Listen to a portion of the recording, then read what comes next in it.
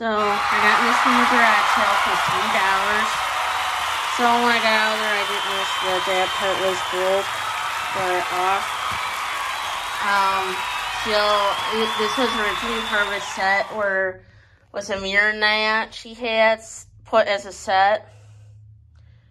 She wanted fifteen dollars for the set, and she said when I pulled out the hair comb, this hair comb, she was like, "I'm willing to separate that. How about three dollars for it?" I'm like, "Sure." Cause these sell for like legitimately more than three bucks. I know now this is worth less with that little broke end right there, but still. Um, there were some nice ones, but like you have to remember what Dr. Lori said. If they were celluloid um, dresser sets, they made a lot of um they mass produced them like crazy, so and they're not worth a lot of money, so if you ever watch Dr. Lori Verderame on YouTube, that's um, what she often will tell you.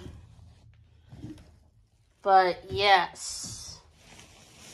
So, um, I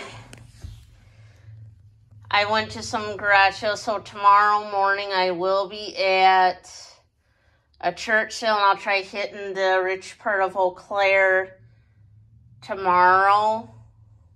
So I just gotta see how much running I I do.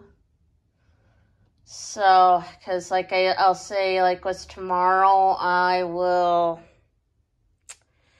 Yeah, but then here's the thing: I gotta be back home in time so I can um, eat and get ready for work because I have to be to work by 1 tomorrow.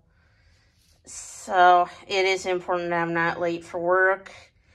So I try to be very selective. I understand, yes, I'm not going to go to all the garage sales. And with Saturday, I might not be going to any because I don't know uh, what Arnold's going to be wanting to do because right now he's wanting to trade off his Equinox because he believes the engine is going on his car. His Equinox is silver, so, so, um, yeah. So if you haven't already, please subscribe to the YouTube channel for more content. And don't forget to like, comment, and share channel as it would help get my channel out there to people that don't know about it yet.